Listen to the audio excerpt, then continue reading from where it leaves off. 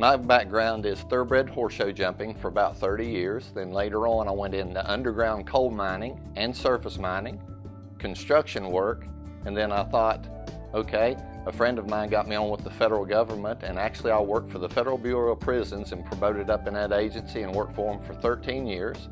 And then I got a phone call in November of the year 2000 from someone that I trusted in the business world of high integrity and credibility. And he said that Paul Orberson was coming out of retirement to start a company and did I have interest? And I said, absolutely. And then I went to the launch of the company on January 5th, 2001. And the reason, you know, I jumped in was uh, you know, just both feet was because of Paul Orberson's credibility and his integrity, and I'd known Paul for a few years. Worked the business part-time, then worked at the federal prison during the day, uh, working on my career. And eight months into it, about two weeks before September 11th, 2001, I resigned from the Federal Bureau of Prisons career to go into full-time.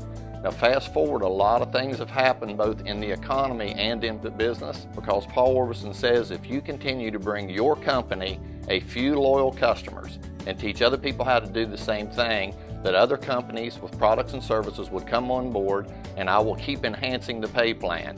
And boy, has he ever done that. We've had pay increases, a platinum car free program, and a leadership travel program Plus, there's promotions that Paul and Tommy and, and Jeff run all the time to enhance our pay plan and to entice reps to work and build their business harder. And uh, we've been on a couple of those trips. We're on a trip right now, and we're in Nassau, Bahamas on our second leadership uh, trip there, and it's just awesome. Another way that I was blessed, and you meet so many good people, and I was introduced to my future bride in October 23rd of 2008. I was introduced to uh, Christy Paris at the time, and uh, now we are together and married. Christy and I work the business together. Christy started off working part-time because she was in the mortgage industry and a wholesale banker. And now, as of this May 2010, Christy is now full-time in the business with me as a married couple, and we're building a business and having a blast. We want to help other people financially you know, get ahead in life. By building a large team here of customer gatherers, products and services that we use each and every day from name brand companies, and they have come on board in the last nine and a half, ten years since launch of the company, and there's many more coming in the future.